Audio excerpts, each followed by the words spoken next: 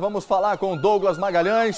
Douglas tem uma exclusiva, tem novas informações, está nos atualizando. Mas eu gostaria de lhe perguntar, Douglas, ainda com relação às ameaças na escola não é um assunto muito grave. Nós falamos aqui durante todo o ano sobre este tema, muitas brigas dentro da escola, fora das escolas. Ô Douglas, esta ameaça, ela foi feita nas redes sociais, colocaram um papel no banheiro, foi um boato na comunidade dentro da escola. Por favor, Douglas.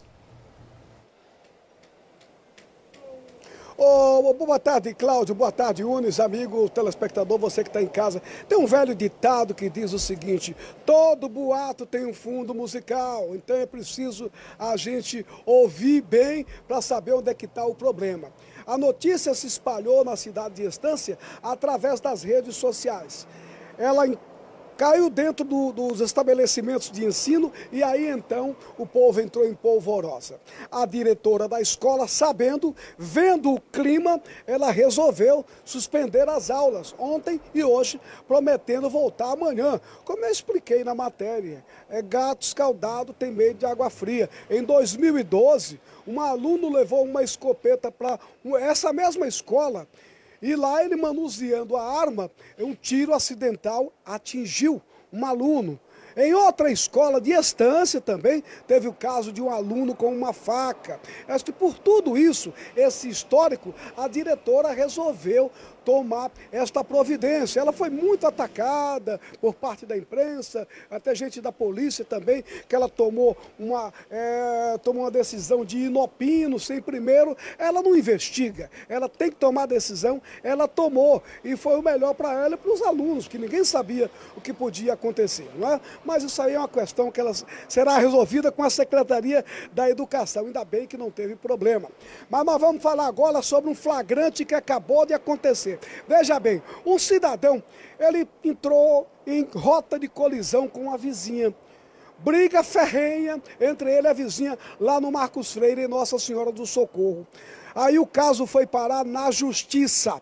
O homem, desde então, está usando uma tornozeleira a mulher, a vizinha, uma senhora, usando o botão do pânico. Resultado, a qualquer momento que ele se aproximar da senhora, aperta o botão do pânico que a polícia vem aqui.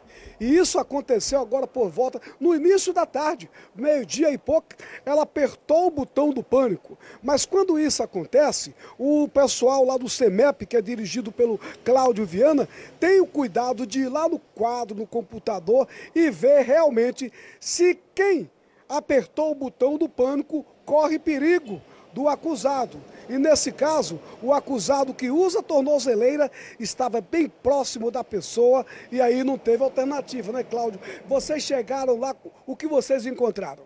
É, em primeira mão, ela acionou o botão de pânico e nos encaminhou um vídeo onde esse elemento, esse monitorado, ela aparece com uma picareta é, rodeando a casa dela.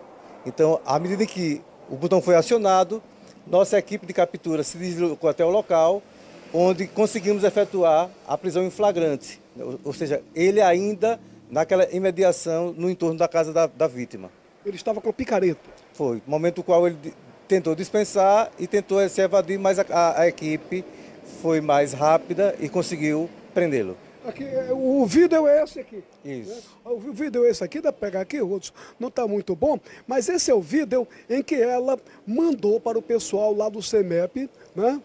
Mandou lá do CEMEP, é, mostrando e dizendo que estava sendo ameaçada. Mandou inclusive o vídeo depois que apertou o botão do pânico.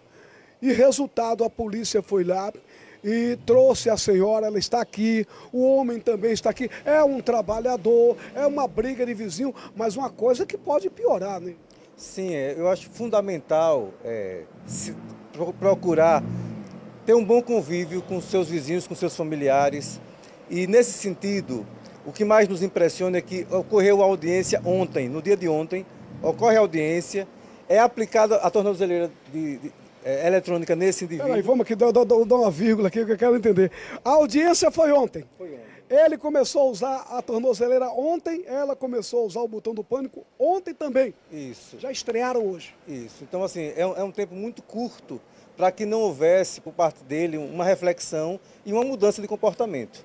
E a equipe de policiais da CEMEP está de prontidão 24 horas para poder resgatar e salvaguardar a vítima em qualquer situação. A mulher, a mulher uma vez com o botão de pânico, ela está altamente segura e a equipe está a postos para tirar todo e qualquer é, homem covarde de circulação. Olha, o Cláudio e os amigos de casa, detalhe é o seguinte, eles têm um cuidado muito grande, porque às vezes a vítima, a mulher que tem o botão do pânico, ela pode apertar o botão do pânico, é, se dizendo ameaçada, quando na realidade o homem que usa a tornozeleira, que é o que está ameaçando ela, está fora da área limítrofe, ou seja, não está tão perto assim, mas vocês têm que checar. Sim, nós fazemos todo um trabalho de análise, né, é, a leitura digital, porque tanto aparece é, a posição, a localização do autor como da própria vítima. Então isso nos, nos garante uma assertividade imensa e, e, uma alta precisão na nossa performance policial. Cláudio, muito obrigado, bom trabalho, viu, para vocês. Parabéns pelo trabalho aí, foi um flagrante. O caso está sendo já resolvido na esfera que é para ser resolvida, que é a polícia e daqui para a justiça. Sim, eu, eu espero que é, os homens aprendam que o respeito à mulher é fundamental e, ainda que seja uma vizinha, é fundamental construir um bom relacionamento e cada um viver em paz.